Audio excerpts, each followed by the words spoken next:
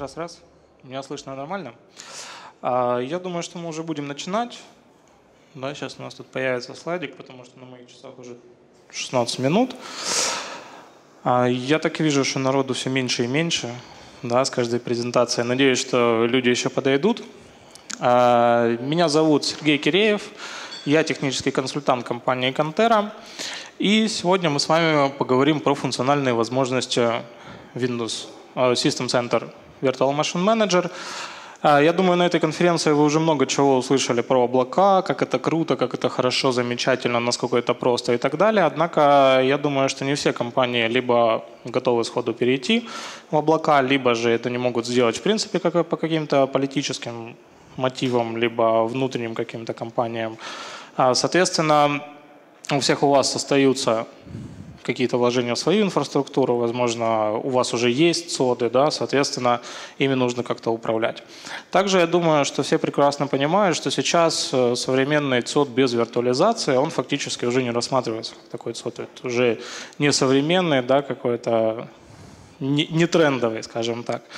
Вот, соответственно, так же самое нужно понимать о том, что сама виртуализация как таковая, неважно, какой это производитель был э, этой виртуализации, она уже не является как таковым конкурентным преимуществом. Да, то есть вот именно сама технология виртуализации, потому что она есть фактически у всех, там в 80-90% цодов, наверное, скорее всего в 100% цодов, которые сейчас строятся и бывают новые.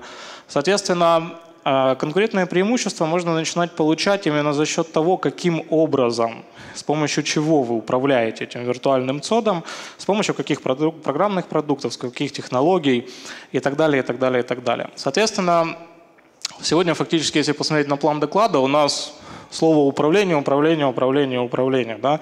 Потому что хотелось бы остановиться именно на тех нюансах, которые есть в продукте, которые, возможно, либо мало представлены, либо мало их кто-то пробовал. Тем не менее, они помогают значительно упростить жизнь администраторов. Соответственно, если коротко, то мы будем говорить про кластеризацию, по хранилище основная вещь и сетевые технологии.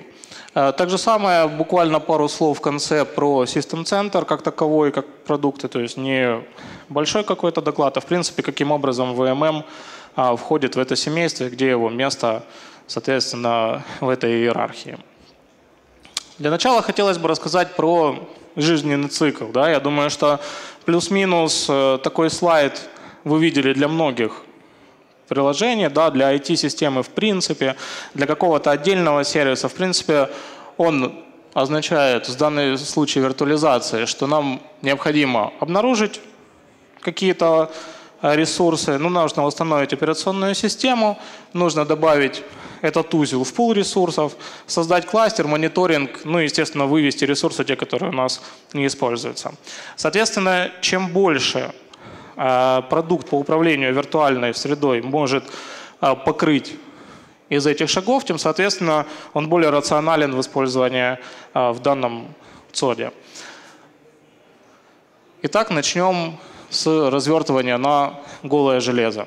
Главная задача довольно-таки простая найти э, пустой сервер, абсолютно без какой-либо операционной системы, включить его, установить туда Windows сервер и добавить для использования в виртуализированный ЦОД.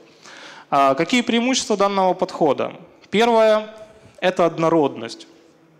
То есть абсолютно любой сервер, который вы будете добавлять в свою инфраструктуру с точки зрения Hyper-V хостов, да, он будет полностью одинаковым, соответствовать всем остальным другим серверам, которые у вас установлены, без каких-либо там различий, то есть одни и те же версии операционной системы, одни и те же версии драйверов, фирмвара и так далее, и так далее, и так далее. Более быстрое масштабирование. То есть вам не нужно обращаться ни в какой другой либо отдел, либо программному продукту, либо еще что-то такое. Если администратор управляет виртуальным содом, он заходит, говорит, пожалуйста, добавь мне еще один сервер, и из этой же консоли выполняет развертывание этого сервера. Повторная установка быстрее, чем поиск и устранение неисправности. Да? Соответственно, иногда бывает проще пересетапить просто-напросто хост, чем разбираться, что же у него там глюкануло, какие там проблемы с операционной системой и так далее. Поскольку современная операционная система уже переустанавливается там, в считанные минуты, там 5-10 минут, да, у нас готова такая же точно железка, только уже с новой полностью осью. В случае виртуализированного отсюда туда, скорее всего, не ставятся никакие дополнительные программные обеспечения, это некоторая ну, такая база да, для уже виртуализации остальных серверов. И весь жизненный цикл узла виртуализации управляется посредством одного продукта. Да, то есть никаких дополнительных, э, скажем так, настроек, да, либо дополнительных еще программного обеспечения вам применять в этом не нужно. Каким же образом происходит весь процесс установки и что вам для этого нужно? А, естественно, самое первое это у нас э, сервер VMM да, с библиотекой а, в вашей инфраструктуре. Так же самое у вас должен быть в наличии где-то отдельно стоящий пустой сервер. А, по какой причине он должен быть пустой? Опять же таки, многие предприятия планируют каким-то образом свои будущий рост, да, и, соответственно, закупают железо иногда чуть больше. У некоторых это связано с определенными процедурами, которые там нужно закупить его заранее, чтобы потом не мучаться, когда резко он понадобится. Но в то же время очень сильно не хотелось бы, чтобы вы его купили там летом, он вам реально пока что не нужен, и он все это время стоял, там гонял электрику, гонял, гонял соответственно, ваши кондиционеры, помимо того, что вы будете за ним еще иногда посматривать, что же с ним случилось, да, там у него идет срок жизни всех его компонент, то есть они находятся в рабочем состоянии, поэтому, естественно, лучше его просто, чтобы он был в выключенном состоянии, просто воткнут в сеть, э, в электрическую, и, соответственно, у него было одно обязательное условие, это наличие IPMI модуля. То есть тот, который в UHP это ILO, да, DRAC, Dell и так далее, то есть модуль удаленного управления. Как правило, такая вещь уже есть даже в самых дешевых серверах. Вот, соответственно, с этим проблем, как обычно, не бывает. Дальше вам необходим, ух, извините, дальше вам необходим VDS-сервер, DHCP-сервер. Ну и, соответственно, желательно наличие активного каталога. А, какими у нас шагами все происходит? Для начала VMM-сервер у нас инициализирует как раз-таки загрузку по API модулю с помощью out-of-band менеджмента, включение нужного сервера. То есть у него может быть там пул абсолютно из любого количества адресов, там вы можете запихнуть туда хоть 20 серверов, да, это не важно, он, вот сколько ему нужно будет, он в зависимости уже от ваших, естественно, выбранных там настроек, по одному включать, просто один брать, ждать администратора, включать все, которые вот у него добавлены под сеть там из 100 серверов, вот сколько он найдет в этих э, в, этих, в этой подсети, столько он, соответственно, и включит этих серверов. А, после того, как происходит запуск самого сервера, он обращается, загружается по PXE, обращается на VDS-сервер. VDS-сервер, а, соответственно, пытается проверить VMM сервера, а не перезагрузил ли это просто так кто-то этот сервер, да, то есть действительно ли на него что-то есть, какая-то попытка установки операционной системы. VMM сервер? Говорит, что да, действительно, я знаю, что я хочу на него установить, да, это я инициализировал ее, поэтому, пожалуйста, загружая на него, соответственно, WinPXE образ. Вот этот вот э, пятый э, здесь шаг, который присутствует, он является довольно-таки важным шагом, потому что именно на этом этапе у вас происходит, скажем так, э, запуск всех ваших каких-то внутренних скриптов, обновление прошивок этого сервера, возможно, какое-то выставление параметров BIOS в этом сервере, уже в физическом, да, и так далее, и так далее, и так далее. После этого а, ВММ говорит, что у меня есть для тебя специально подготовленный заранее администратором VHD файл, да, с проинсталлированным туда либо минимальным набором э, какого-то софта, э, либо же просто чистая голая винда. Это, в принципе, не суть важно. И подтягиваются, соответственно, необходимые драйвера и профайлы для этого сервера. А, после того, как это произошло, у нас происходит установка агента, VMM-агента, и, соответственно, данный сервер а, у нас попадает в инфраструктуру VMM сервера. Дальше его можно еще дополнительно ввести в активный каталог и, соответственно, добавить в какой-то из пол ресурсов, либо просто завести в VMM отдельно там, не знаю, там new servers, да, какую-нибудь папочку, в которую вкладывать такие сервера, и после того, как там что-то появляется, администратор уже может самостоятельно говорить, что а давай-ка ты, пожалуйста, добавишься там, не знаю, в филиал номер один, да, тебя там расширим ресурсы этого филиала. Вот, соответственно, весь процесс естественно, автоматизированный. От вас э, требуется только первое толкнуть да, VMM сервер на основании какой-то, то есть либо это у вас сработал какой-то мониторинг, либо вы просто самостоятельно видите, что нагрузка на хосты увеличивается и вам ее не хватает, поэтому вы хотите э, разлить, либо вы видите, что у вас происходит что-то, какой-то сервер начинает просто умирать, да, у него там выходят компоненты из строя, вы, соответственно, по-быстренькому поднимаете взамен ему новый сервер. А, так же самое, в принципе, э, любые другие какие-то варианты, просто так потестировать его и так далее, и так далее, и так далее. Далее, помимо того, что у вас есть э, сервера и хосты отдельные, э, в современных, опять же таки, цодах уже фактически большинство серверов объединяется в кластера, да, потому что это круто, потому что это отказоустойчиво, потому что это высокая доступность, потому что можно получить довольно-таки большое количество преимуществ. А, первое, как я уже сказал, это высокая доступность.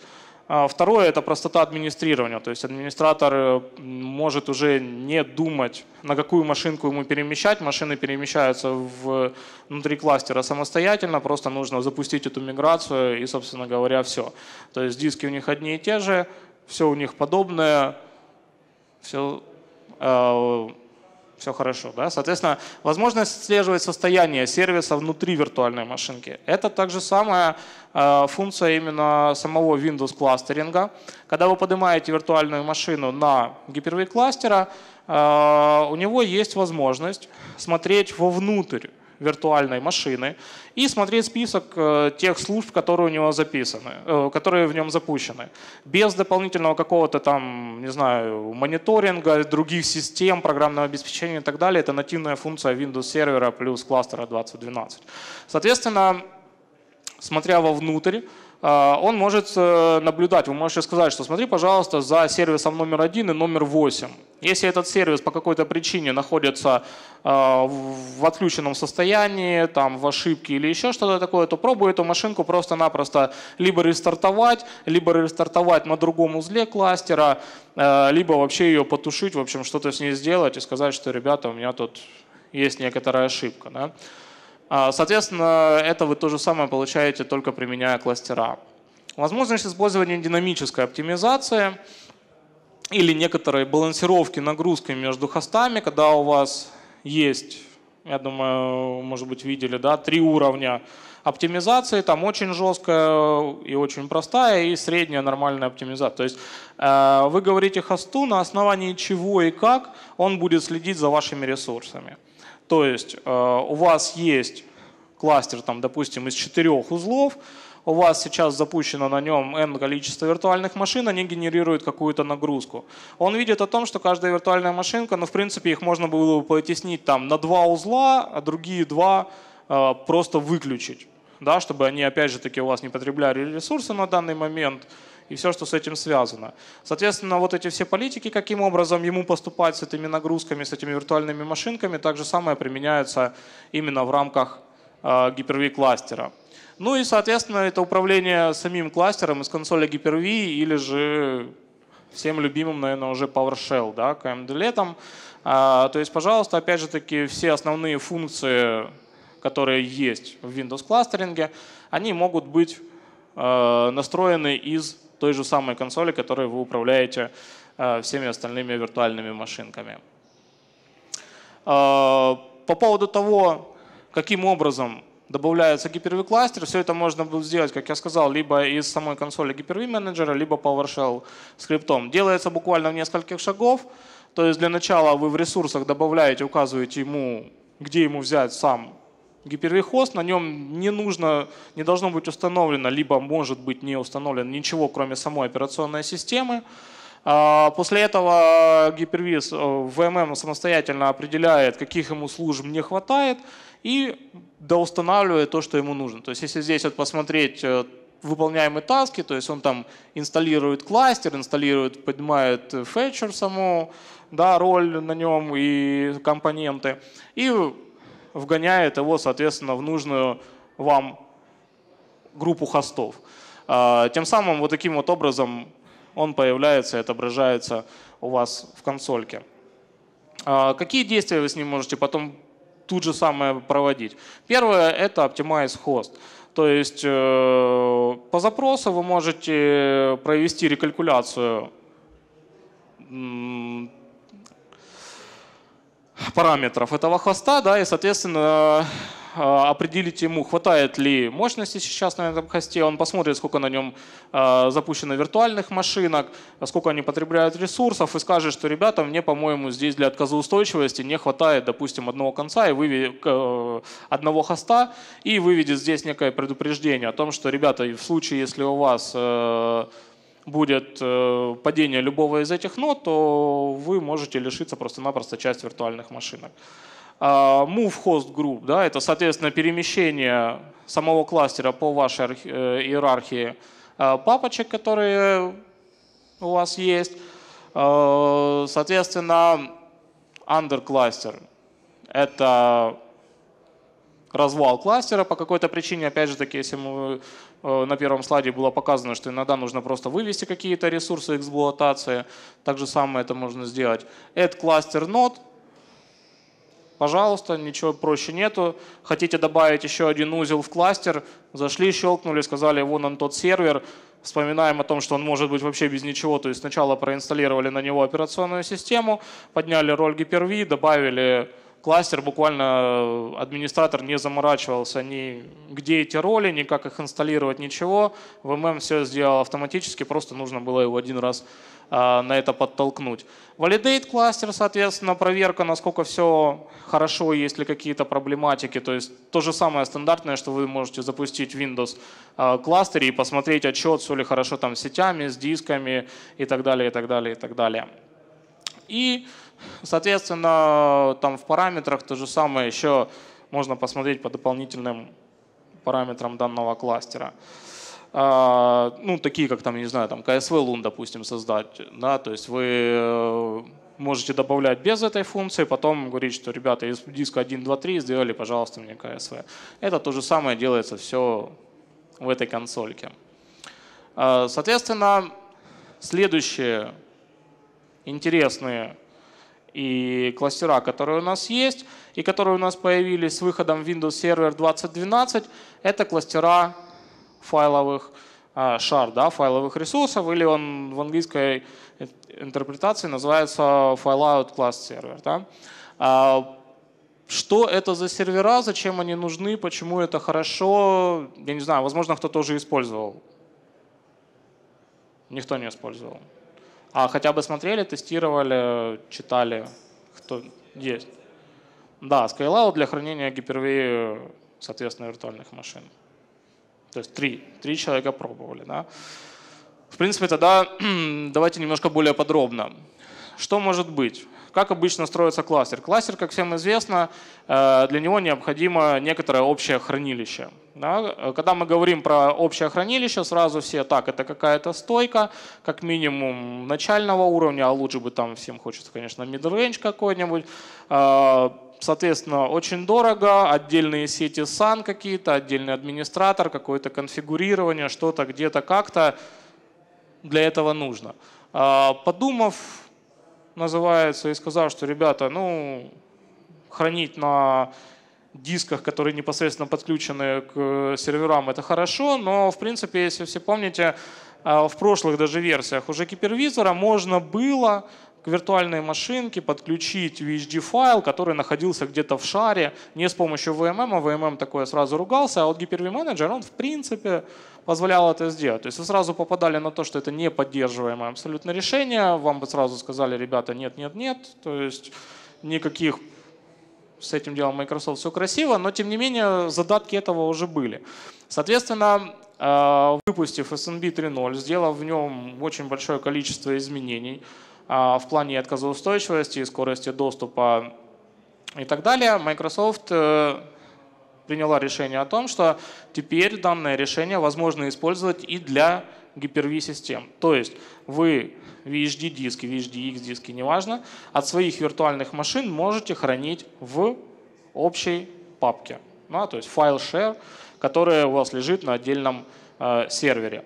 Этот отдельный сервер может быть как отдельно стоящий, один сервер, э, со своими локальными дисками, там, со своей локально подключенной полочкой дисков, неважно.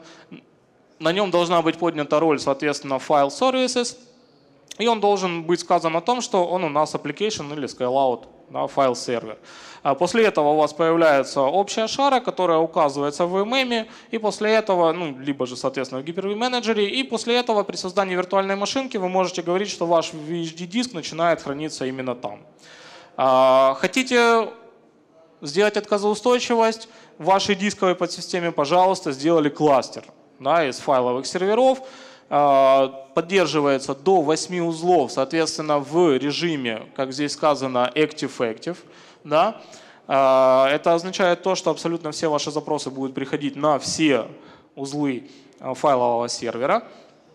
При этом кластер Hyper-V может составлять до 64 узлов. То есть фактически все то же самое, что подходит под обычную стандартную стойку да, и параметры с точки зрения гипервизора поддержки, то же самое работает и здесь. Э, вы получаете довольно-таки простое и дешевое хранилище, то есть вам достаточно для этого просто сервера, которого подключены либо DAS, либо по какой-то другой специальной технологии диски, набор дисков, из которых уже сам Windows сервер делает себе либо пул ресурсов, либо вы их делаете на уровне той железки, которая у вас есть, и предоставляете как файловую шару доступа для этих Hyper-V серверов. Соответственно, поддерживается как выход из строя Главное, чтобы один оставался жив э, кластер. Э, прошу прощения, не один, а стандартное соотношение, да, там 50% плюс один. Вот, соответственно, э, перенаправление так же самое работает, если у вас шли коннекты к первому серверу, он вдруг падает без разрывов, каких-то соединений, либо еще что-то, вся нагрузка переходит на второй, третий и так далее. Так же самое сервера, они отслеживают нагрузку и могут переносить да, какие-то запросы на соседние стоящие сервера. И, в принципе, тем самым э, получаете вы некую, с одной стороны, дешевую, да, но с другой стороны, с точки зрения производительности, ну, это как минимум э, low-end э, стоraджа, вот, а то и, скажем так, с точки зрения функционала, который позволяете и роста до 8 узлов, я думаю, что они могут даже потягаться уже и с middle range. Да. При этом, как я сказал, обычные стандартные диски, обычные стандартные сервера. У многих производителей уже есть решение, где сервер, набор из двух серверов с общим хранилищем да, в одной упаковке. То есть такие есть у Fujitsu, допустим. У Dell есть уже даже до четырех серверов, то есть мини такой наборчик, куда закидывается там 25-30 дисков. Вот, и они шарятся, соответственно, этому количеству узлов, которые blade серверов, которые в него вотнуты. На такой базе можно, пожалуйста, а, строить решение по отказоустойчивости. Что у нас поддерживается? То есть можно на такие папки направлять Hyper-V сервер, а, а именно сами VHD-диски. И так же самое его можно применять для SQL сервера, то есть туда в этих же точно файл-шарах можно хранить и базы данных SQL. То есть никаких ограничений на данную технологию не существует. А, ну, еще из таких, то, что было улучшено, это, соответственно, чек-диск, который сведен там фактически до нуля, точнее он там делается немножко в фоне. При этом ваши сервера, даже если у него произошел какой-то сбой, он не будет очень долго чекать свои диски, пока скажет все хорошо и загрузится. Нет, он фактически моментально загружается. Потом, если ему нужно какие-то провести операции, он просто их а, доделывает, да и все. Простота управления, опять же таки, э, вся инфраструктура полностью на винде получается, нету никаких сан-сетей, да, нету никаких необходимостей в дополнительном администрировании и так далее. Ну, с точки зрения, как стандартно идет человек, который отвечает в системе за стороджа, он занимается только ими, и вот там иногда что-то делает. То есть все это можно производить тот же самый администратор а, Windows серверов и так далее. А, развертывание ресурсов хранилища и управление хранилищами. То есть помимо того, что VMM может подключать к себе а, вот эти вот файловые шари на базе, на базе Windows. Так же самое, если у кого-то есть э, дисковые полки с поддержкой протокола SMIS, то, соответственно, управление этими стоraджами можно производить так же самое из консоли VMM. А, он их может обнаружить, какие у вас есть сториджи, добавить их к себе, сказать, что смотри, у тебя там дисков на такой-то объем, и управлять уже с помощью VMM. То есть не лазить каждый раз на консоль самой дисковой полки, не создавать эти луны, там, не запрашивать у администраторов и так далее, и так далее туда доступа, просто-напросто все выполнять полностью из одной консоли. Чем это опять же таки хорошо, потому что это, а, скриптуется, да, все, то есть у нас есть поддержка PowerShell и все на свете. А, б, это можно делать более динамическое распределение, то есть у вас по необходимости добавляются новые какие-то виртуальные машинки, добавляются какие-то новые среды, пожалуйста, нарезали под них луны, добавили им диски, стали не нужны, вывели из обращения, очистили, у вас есть дополнительное это место. То есть вы просто-напросто уменьшаете время для подготовки самой инфраструктуры. А, типичные сценарии для этого использования это, как я сказал, что если у вас происходит тот же bare metal а, установка, либо еще что-то, расширение пулов, вот, пожалуйста, им нужно откуда-то брать а, место да, для того, чтобы развертывать дальше виртуальные машинки. Создание масштабируемого файлового сервера, быстрая подготовка и так далее, и так далее. А, о чем нужно обязательно помнить? А, поддерживается только для узлов гипервизора, потому что там дальше, если вы посмотрите, мы будем еще говорить о том, что у нас VMM это для управления гетерогенной виртуализированной средой.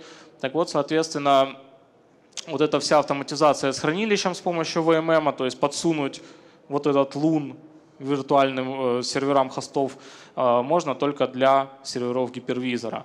Дальше установка самого SMIS, провайдера, самого SMIS провайдера не поддерживается на сервере VMM. То есть это есть некоторый нюанс. Для того, чтобы управлять стойкой, вам нужно где-то э, поднять еще дополнительный сервер и уже на нем поднимать провайдера, который будет общаться с вашей стойкой и, соответственно, сообщать VMM о том, что, ребята, у меня есть нему какие-то вопросы. Либо же, э, если стойка поддерживает обращение через VMI, да, то есть это такие как Dell, Equalogic, по-моему, они такое могут делать, соответственно, тогда вообще у вас провайдера никакого не, не нужно, у вас есть встроенный провайдер в э, VMM, и даже провайдер Dell можно поставить на сам VMM сервер. То есть нужно больше уже обращать внимание на саму стойку и смотреть, какие рекомендации по ее провайдерам, чего они могут, как они работают. И миграция по сети SAN у нас больше э, не поддерживается. Вот, соответственно, все, у кого применялась э, данная технология, то есть это тогда было для того, чтобы быстрее у вас разворачивались диски, для того, чтобы у вас миграция, Quick Migration проходила не по сети, а по сети сановской, да, вот, соответственно, сейчас такого уже нету. И сейчас я предлагаю вам посмотреть на то, каким образом выполняется как раз-таки подключение файловых серверов, подключение стоraджей.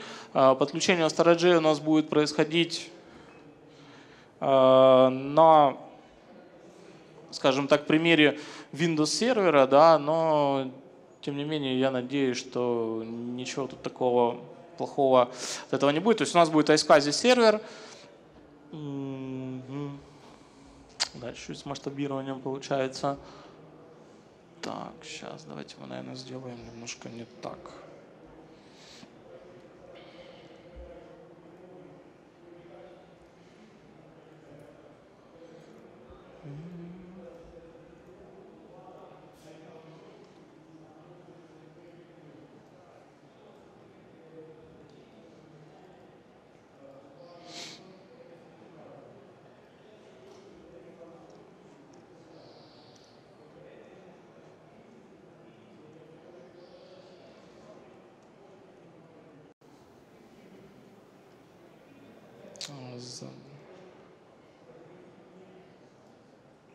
Не на весь экран.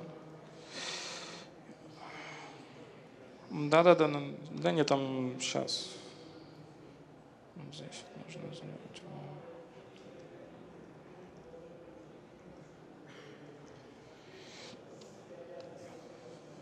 Все нормально, да? Итак, у нас есть обычный стандартный VMM сервер, а, на котором у нас имеется поднятая виртуальная машинка с Microsoft Windows iSCSI таргетингом. А, что она из себя представляет? Сейчас мы посмотрим, что она из себя представляет.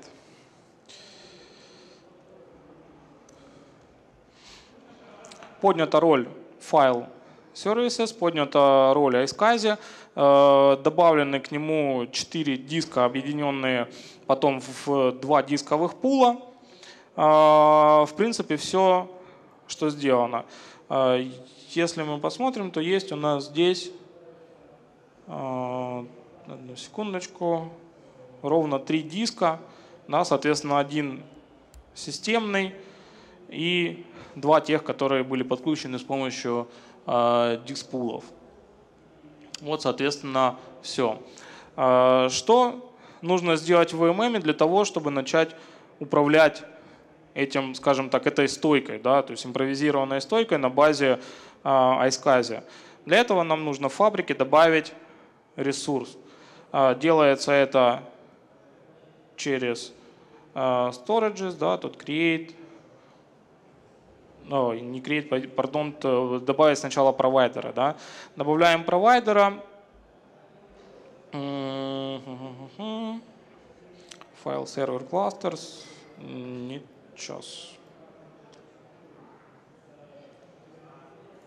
Storage device. Да. Соответственно, здесь нам предлагается сделать выбор, на базе чего у нас а, есть этот сервис. То есть, как я говорил, Windows Based File Server это не что иное, как Skyloud сервер. И дальше пошел у нас Sun NAS devices какие-то, Sun devices по SNMP провайдеру там, и так далее. Для того, чтобы добавить сервер на базе Windows, нам нужно использовать данный функционал. Потом выбираем, какой протокол мы будем использовать, SMI, э, SMI, SVMI, и, соответственно, вводим имя нашего сервера, на котором у нас находятся наши диски с поднятым iSCSI таргетингом. Учетную запись, из-под которой будет иметь администраторские права на это хранилище. Собственно говоря, происходит обнаружение и добавление тех устройств, которые он найдет в ходе подключения данного девайса. А, ну, соответственно, данные стойки. Пожалуйста, есть сервер, общая, как он говорит, 256 гигабайтов, то, что он там нашел, и это включая абсолютно все диски, которые там есть. И, соответственно, на следующем шаге он говорит, а, что из этого и где из этих дисков мы будем а, размещать луны, созданные с помощью VMM. То есть на каких из них вы можете а, чего-то делать. Соответственно, как вы видите, можно даже совмещать, условно говоря, а, не всю дисковую полку полностью говорить для VMM отдавать, да, можно сказать, нарезать там часть диска для VMM, а часть диска оставить под какие-то другие нужды. После этого здесь еще можно создать классификации.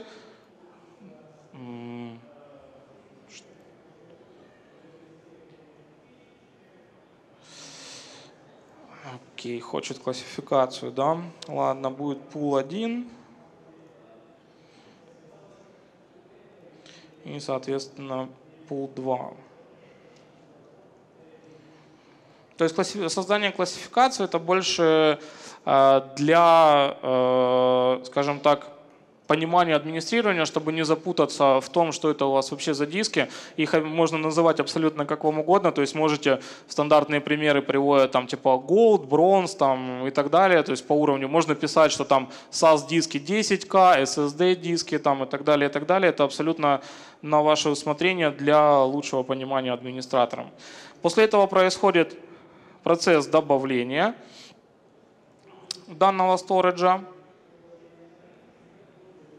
какое-то время.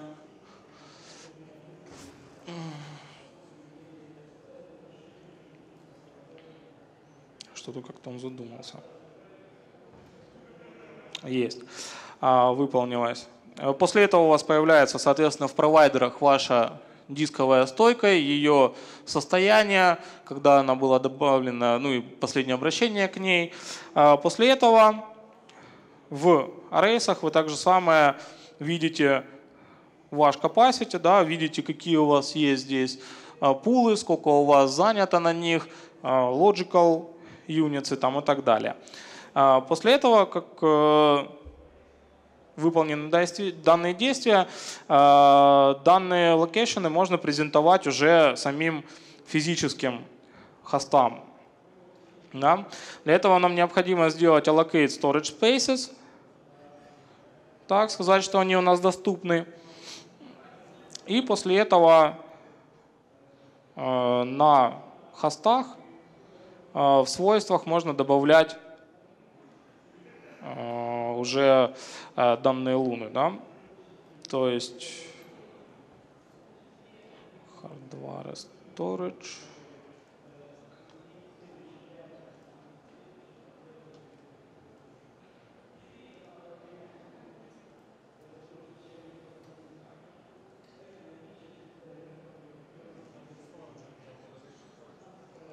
Да, пардонте. А, вот, то есть он увидел о том, что у нас есть iSCSI Array. На самом деле это потому, что здесь проводились некоторые уже манипуляции, поэтому он автоматически его увидел. А так на самом деле просто-напросто к нему нужно либо create session сделать, либо сделать это о, господи, я диск говорю. Тут было бы э, доступно вот это add iSCSI array. А, соответственно, помимо того, что есть весь array, так же самое можно еще и вот в этой фабрике нарезать необходимое количество лунов. То есть через create logical loon выбираете, где именно он будет создаваться. Соответственно, ему присваивается какое-нибудь имя, выделяется, сколько, какой размер у него будет. Собственно говоря, все. Да, после этого, опять же таки, производим allocated и говорим, что да, еще, наверное, не сделался, что ли?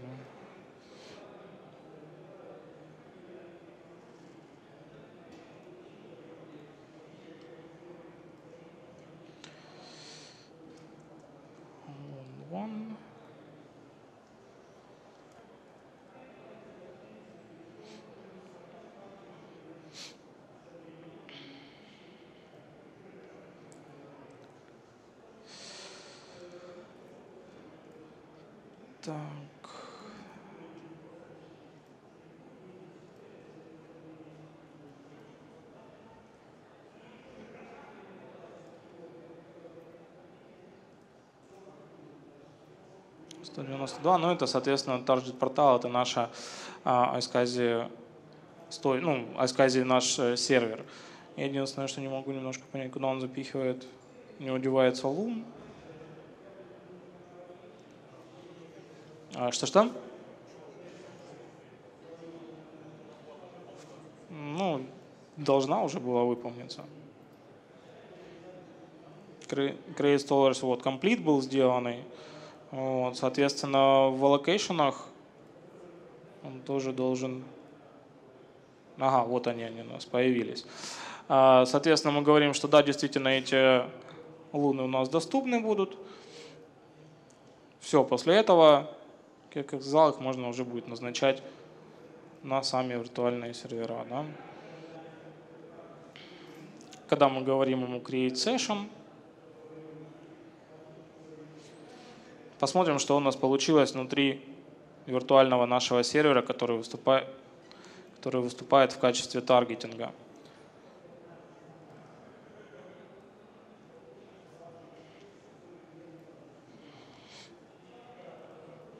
На нашем сервере появилось два луна с именем и идентификатором, а, соответственно, тем размером, да, которого мы и задавали – при этом, хоть они одинаковые имена, вот на основании вот этого идентификатора он и позволяет нам создавать даже с одинаковыми именами Луны. А, после этого на самом физическом сервере, к которому мы это пытались подключить.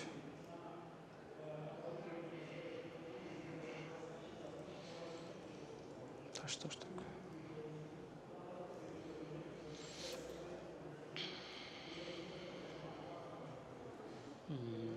Нету, да? А, что-что? Да, по идее, он должен это автоматически, как только я ему говорю, что здесь вот create. Что-что?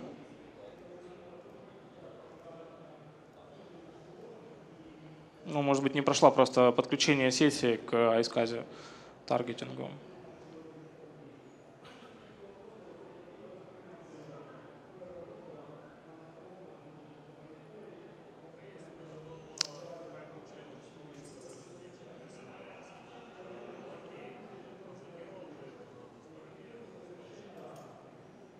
Allocated э, pool или что, ну, лун. Ну, соответственно, при настроенных правильных IBA адаптерах на сервере, естественно, он бы его подключил бы. То есть там же у вас уже идет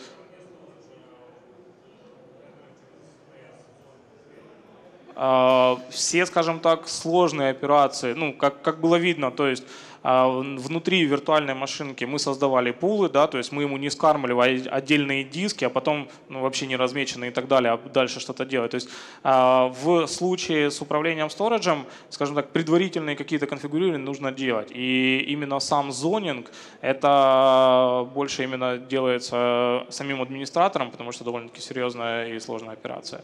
Вот. После того, как это все настроено, здесь выполняется именно предоставление, скажем так, почти сырого места. Вот мы там выделили пул из 20 дисков, да, и дальше VMM занимается тем, что он нарезает на нем луны. Да, и уже подключает к нужным хостам. Соответственно, у вас и в зонинге, и туда, где видны, от, сказать, с каких хостов должен быть виден этот сторож, должно быть прописано на самом оборудовании, не где-то в VMM, да, то есть VMM таким а, не занимается. Вот.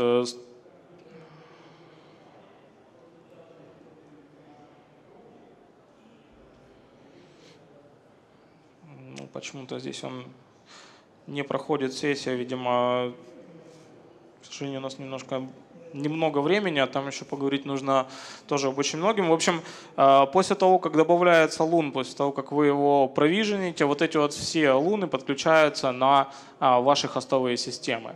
Э, то же самое практически происходит и с файловым сервером, то есть добавляется абсолютно э, так же самое, add resource, storage devices, Windows Based сервер.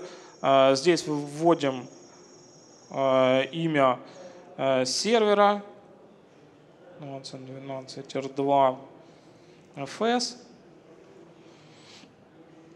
Ranox аккаунт. И опять же таки на стороне сервера просто достаточно поднять саму роль файлового сервера без нарезания каких-то э, дисковых квот, там, шар и так далее. Все, что называется найдет, все есть. То есть, опять же таки, саму шару вы можете создать как и вручную на сервере, так и впоследствии с помощью консоли э, SCVMM э, можно э, создавать файловые шары. Вот у нас становится активная галочка Create File Share.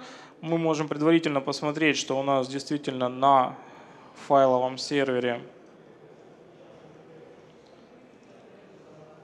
ничего пока что нету. Вот пустой файловый сервер. А, опять же таки, классификация для того, чтобы было понятнее, что это такое. А, какое-то имя общей папки. local pass, э, где он будет храниться, соответственно, на этом сервере. Что у нас здесь? Э, так, пардон, target.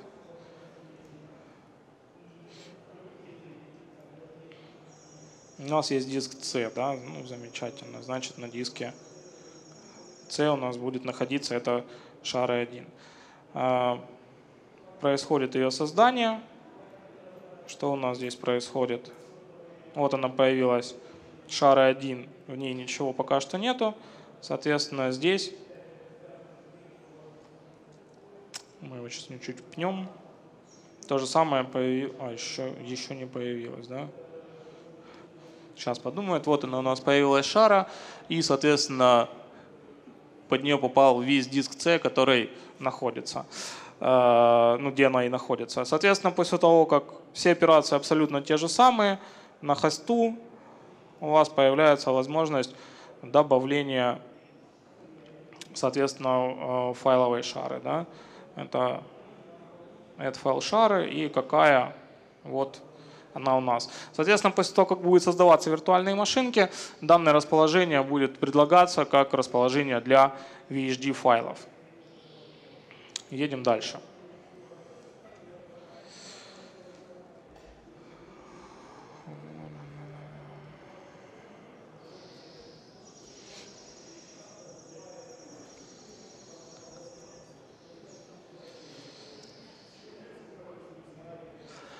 Дальше довольно-таки интересная и иногда малопонятная тема – это управление сетями. То есть все, кто работал с помощью VMM 2008, 2008 R2 и так далее. А, в принципе, все было очень просто. Сети создавались на Hyper-V хосте, либо на самом виртуальном а, VMM. Они презентовались потом а, хосту, либо хост, наоборот, видел то, что вы насоздавали у него. И, соответственно, никаких таких проблематик с этим не было.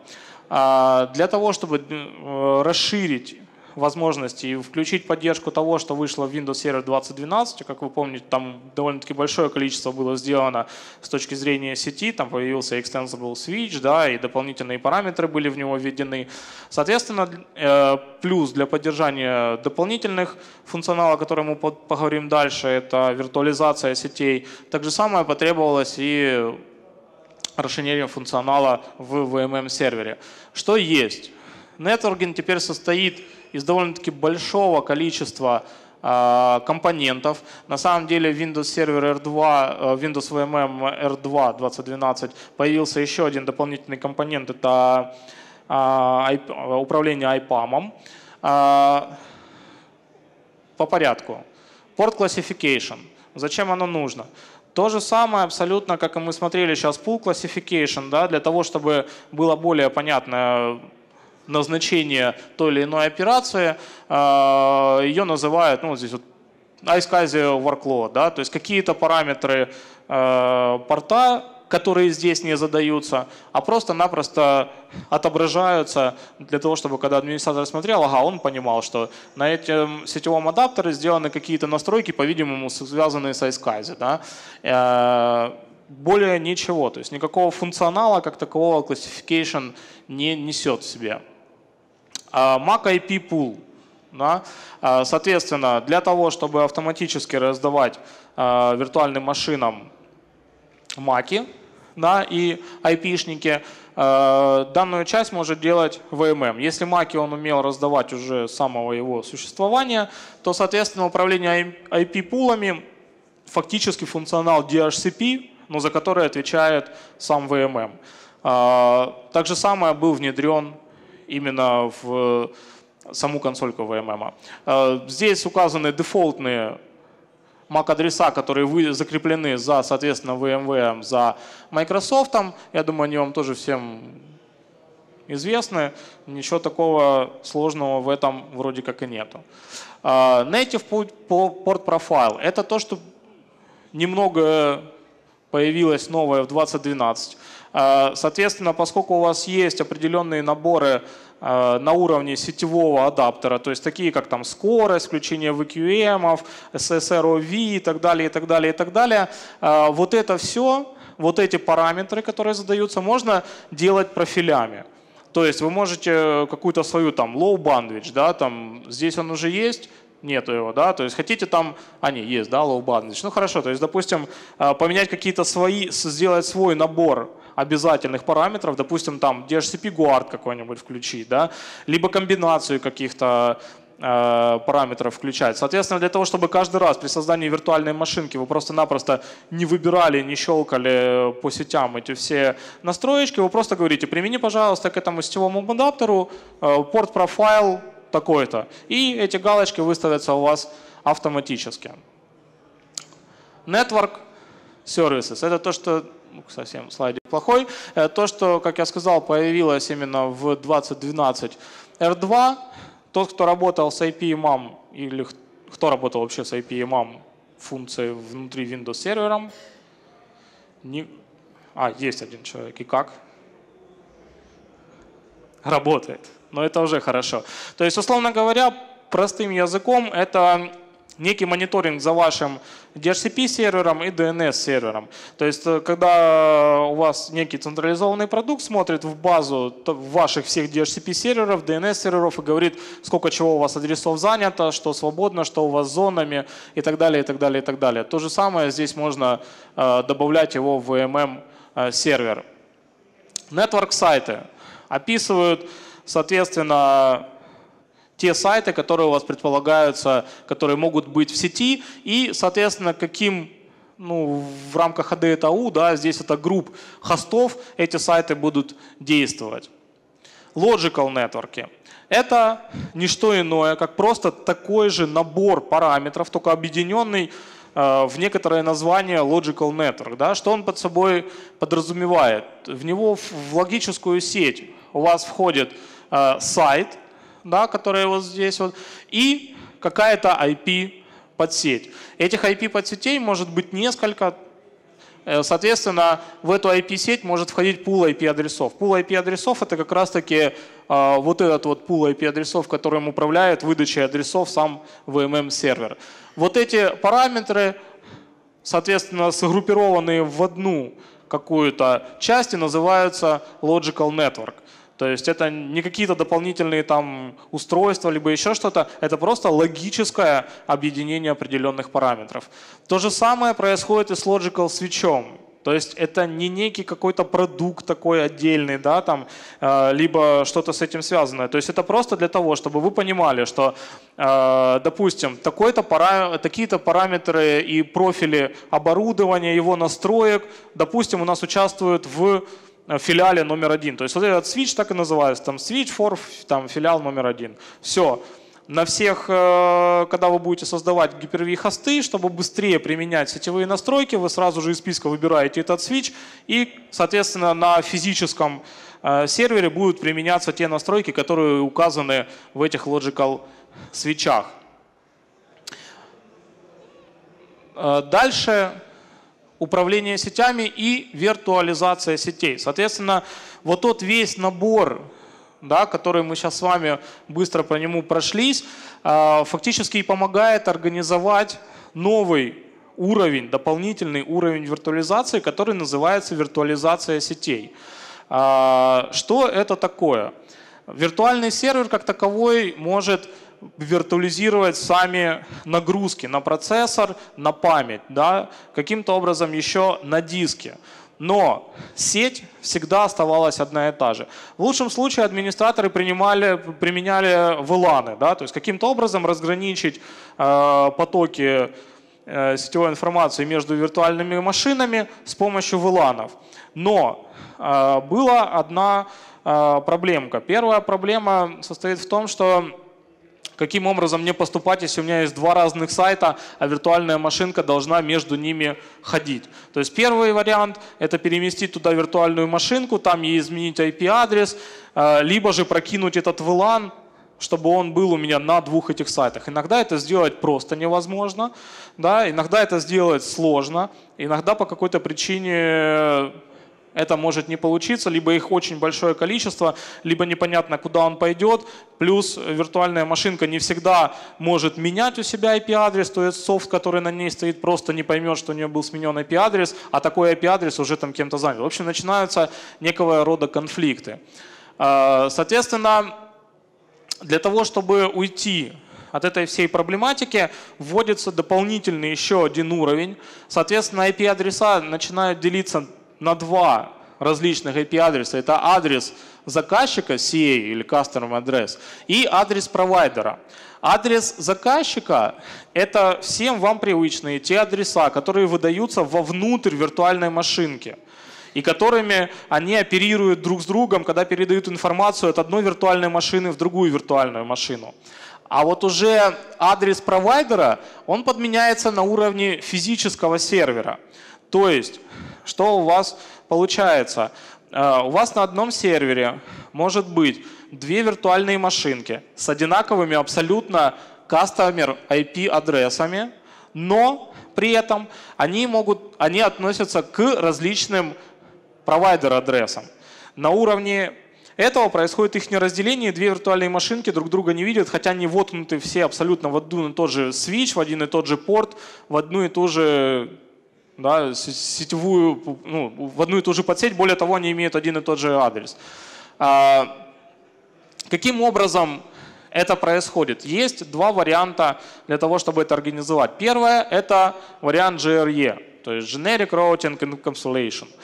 А, предназначен для большинства дата-центров. Это фактически, наверное, в 80% случаев применяется именно данная технология. А, и у нее есть еще дополнительное преимущество, что вне зависимости от того, сколько у вас запущено виртуальных серверов поверх одного физического хоста, для ее реализации необходим один адрес провайдера. А, и, соответственно, данная технология будет уже работать. А, вторая технология, которая может применяться для этого, это IP-адрес rewriting. То есть фактически это некое подобие НАТО. При попытке взаимодействовать одной виртуальной машины с другой, а, ее адрес просто-напросто подменяется и отправляется в другую виртуальную машинку. А, для того, чтобы это делать, естественно, для каждой пары IP-адресов нужно иметь пару каких-то адресов на уровне провайдера. И, соответственно, у нее на данный момент пока что более высокая производительность, чем у э, GRE. Однако ну, сейчас ведутся разработки с точки зрения внедрения этой поддержки нативной в NVGRE, да, так называемая. И тогда, скажем так, уже последний пункт просто из преимущества IP-адрес реврайтинг уйдет. Однако сейчас для того, чтобы это организовать, в принципе, никаких дополнительного оборудования, либо каких-то там перепланировки сетей абсолютно ничего не нужно сделать. И мы, соответственно, с вами сейчас попытаемся реализовать ну, чуть-чуть поменьше, чем эта сеть. Э, это как раз-таки пример, который у вас э, демонстрирует, каким образом Э, происходит разделение трафика. То есть с помощью вот этих как раз таки VCDID, которые выделяются, это для Prime, для PA-адресов, э, соответственно, они следят за тем, чтобы ваши виртуальные машинки не пересекались с точки зрения трафика, а отдавался трафик только в нужные подсети. Соответственно, здесь видно, что на одном и том же сервере крутятся два SQL-сервера, имеющие одинаковые IP-адреса, но при этом никоим образом они с друг другом конфигури... Э, коммуницировать не могут, потому что у них э, будут отличаться именно вот этот VCD-ID. Да? У одного он будет 501, второй, ну, точнее 5001, второго 6001. Когда это нужно и почему это необходимо делать? Это большая гибкость, гибкость в размещении самих виртуальных машин в пределах самого ЦОДа. То есть, если у вас есть сети для отдельная сеть э, для тестовой лаборатории, да, либо вам нужно поднять вот всю вашу инфраструктуру, что-то протестировать, сделать быстренько клоны, развернуть и направить живых реальных пользователей именно в вашу э, лабораторию, где вы проводите сейчас какие-то эксперименты. В принципе, сделать это скажем так, в другой ситуации обычно выделялись отдельные вообще VLAN, отдельные сети, отдельное оборудование, там это разворачивалось. Соответственно, у вас была э, не такая гибкость, э, худшая консолидация ресурсов. Э, Соответственно, динамическая миграция за пределы подсетей. Это то, что молодой человек вот спрашивал у Драгона на прошлом сессии, а какой адрес получит эта виртуальная машинка, когда она уедет куда-то, да, вот в другой дата-центр. У вас есть recovery дата-центр, вы туда складируете ваши копии а, виртуальных машин. Соответственно, когда они поднимаются, они поднимаются с теми же самыми IP-адресами внутри виртуальной машины, какие, как и были у них а, в реальном ЦОДе. Соответственно, дата-центр э, Recovery ЦОД может быть совсем в другой подсети, и ему каким-то образом нужно коммуницировать с вашими пользователями. Соответственно, виртуализация сетей полностью снимает эти вопросы методом как раз-таки вот этой подмены IP-адресов. И, соответственно, упрощенный перенос VM в облако, то есть когда вам нужно вашу виртуальную машинку, которая не ей не нужно менять IP-адрес, либо она не может изменить IP-адрес там, с точки зрения самой работы ПО. Она также самая с помощью виртуализации сетей просто мигрируется с тем же самым IP-шником. Все пользователи доступаются по тому старому IP-шнику, хотя ваша машинка на самом деле уже находится не в вашем ЦОДе, а находится в облаке. Соответственно, сейчас попытаемся очень быстро, потому что уже крайне мало, я так понимаю, времени у нас, а, продемонстрировать, что же и как же это работает.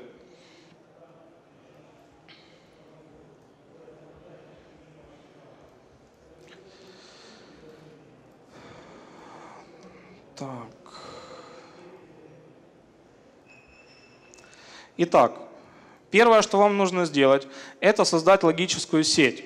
Да? Соответственно, у нас есть две сети. CI – это ну, customer адрес, и сеть Center – это, э, соответственно, primary адресы. А в чем у них какие-либо отличия? При создании сети можно сказать all of new VM networks created that to logical какую э, систему виртуализации, соответственно, использовать э, для того, чтобы дальше строить эти сети. Здесь мы говорим, что на дата на PA-адресах мы никаких виртуализаций строить не будем. Соответственно, добавляем, говорим о том, что у нас будет там использоваться сайт под сети там 172.16 какой-то. Э, после этого мы ему можем создать IP-пул, соответственно, э, правой клавишей create IP-pool для того, чтобы ему автоматически назначался IP-адрес э, при конфигурировании этого адаптера. Второй вариант – Э, точнее вторая часть логической сети, это у нас уже клиентская сеть, где мы говорим о том, что да, действительно на клиентской части, то есть на виртуальных машинках, мы предполагаем использовать виртуализацию сети, что это будет за сеть, ну и какой это будет сайт и каким э, серверам он будет доступен. Здесь у нас он будет доступен абсолютно всем серверам. После этого создаются порт-профайлы. Порт-профайлы, как я говорил, несут в себе некоторые настройки, в том числе настройки uplink линка, да, который будет говорить, через что, либо как он будет выходить за пределы этого свеча. Э, здесь можно поставить какой-то load балансинг, у нас там всего лишь по одному сетевому адаптеру, поэтому, э, скажем так, какой-то load балансинга у нас не получится. Кому мы отдаем, данный порт профайл. И у нас также самое их два. Один для дата-центра, второй для CA. Конфигурация фактически одна и та же, за исключением, когда мы делаем на CA, мы говорим, что у нас здесь будет применяться Network Virtualization. А, после всего этого а, создается логический switch, опять же таки, со своими какими-то параметрами, какими-то там линками, аплинками. Если нужен виртуал порт, ну, для нашего примера он не нужен. То есть, как я и говорил, это не что иное, просто как набор определенных параметров, объединенных под одной крышей. А, затем необходимо создать э, сами VM-нетворки. То есть нам нужно ровно 3 VM-нетворка.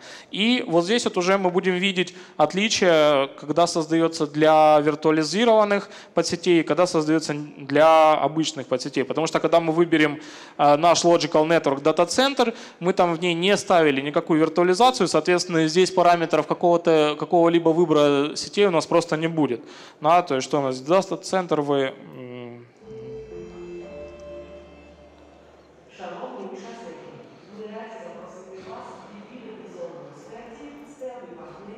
Наверное, у нас уже все закончилось, да? VM ник, допустим, red. Что у нас будет использоваться? Да, мы будем использовать изоляцию виртуальных подсетей друг от друга. А, какие у нас здесь будут подсети? Здесь будет VM sub red. И какая у нее будет подсеть? У всех будет подсеть у нас одинаковая.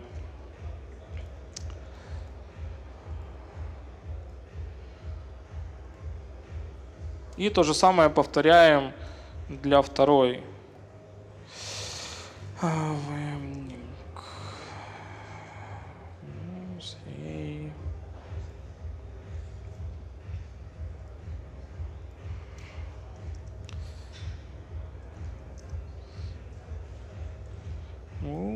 И IP-адрес абсолютно из, из той же самой подсети. А, после этого мы говорим о том, что мы будем назначать IP-адреса так же самое с помощью IP-пулов. Name pool red, откуда мы его будем брать из той подсети, которая у нас там была указана, соответственно, адреса, которые у нас будут выдаваться. Gateway, DNS и венцы, все в принципе стандартно. Я сейчас просто в ускоренном режиме немножко показываю, поэтому... Ага, ну, у нас Blue был.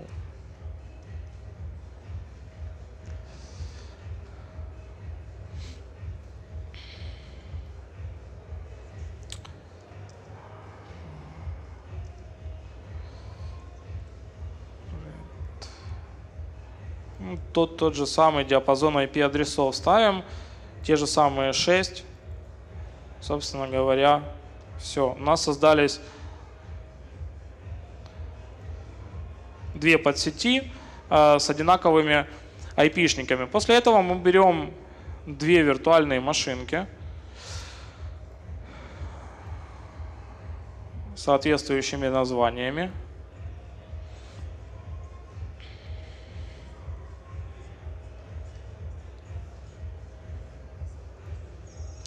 Пардонте, еще, еще не все. Мы должны еще презентовать а, самому хосту настройки соответствующего виртуального свеча. Для этого в виртуальном свече необходимо добавить наш логический свич. Сказать ему, на каком физическом адаптере он будет работать.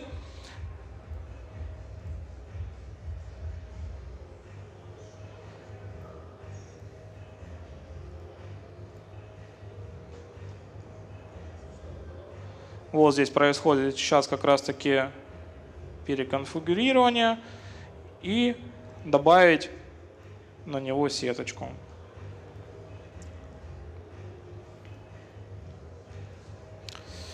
Не знаю.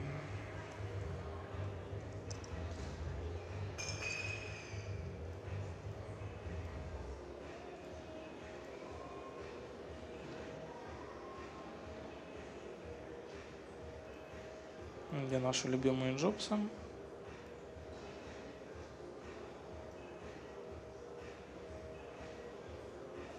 Есть. Операция выполнена. Как мы видим, вот наша сетевая карточка добавлена. Смотрим в ее статус. Да, действительно, 172 16 051 это именно те адреса, которые мы вот здесь вот в VM нетворке и указывали да, для нее. То есть вот 172 16. Далее в виртуальных машинках мы также самое указываем им эти виртуализированные сети, которые они будут использовать.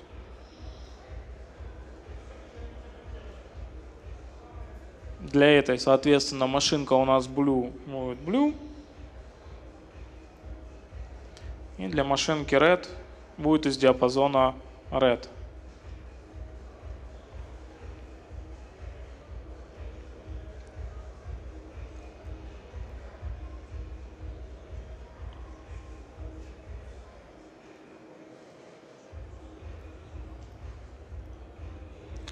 В VM-нетворкингах можно будет посмотреть, что у нас действительно выделились по одному адресу. То есть, если вы помните, здесь было 6 адресов, вот здесь все еще total адрес 6, выделилось по одному адресу из этих подсетей. А после этого необходимо посмотреть уже вовнутрь самой виртуальной машинки.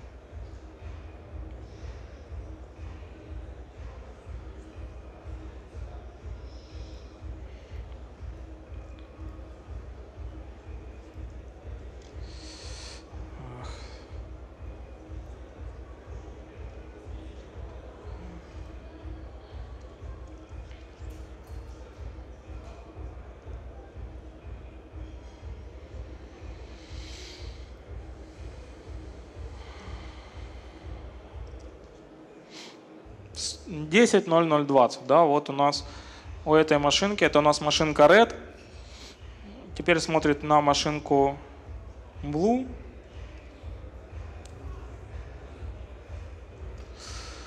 Ух ты, куда она попала?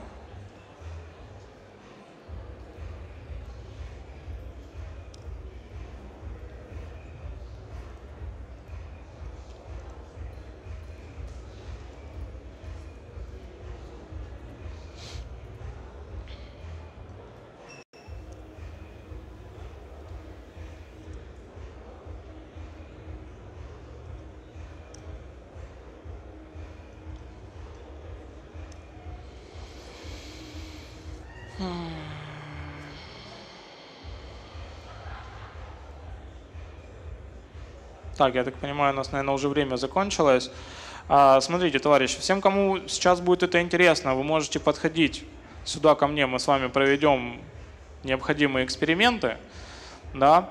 А, все остальное, там, к сожалению, у нас осталось не раскрыта тема, это по гетерогенному а, управлению данной виртуальной машинки и вообще системы. Буквально тогда пару слов. То есть вы можете управлять как VMM серверами, так и Xen серверами. И, соответственно, Помимо всего этого, вы еще и можете встраивать э, продукт System Center Virtual Machine Manager в всю оставшуюся инфраструктуру систем центра. Это вам даст преимущество с точки зрения мониторинга, дополнительные Э, мониторы производительности, там отказоустой, э, накопительные по отказу хостов и так далее. Так же самое существуют для Operations Manager специальные пакеты от производителей железа, которые могут более детально смотреть вовнутрь э, своего сервера и говорить, ребята, мне кажется, тут у меня с памятью скоро будет проблема, о чем сигнализировать, соответственно, гипер... VMM менеджеру. VMM менеджер может на основе этого автоматически принимать решение, что а давай-ка пока у нас еще живы те хосты, но на них какие-то есть проблемы, отмигрируем все машинки в другое место. Это можно делать как автоматически, так и просто всплывающее окно а, администратору, который будет говорить, да, применить какие-то действия, либо нет, я сам разберусь, чего там делать. Вот, э, на этом всем спасибо. Если будут какие-то вопросы, можете обращаться. Все.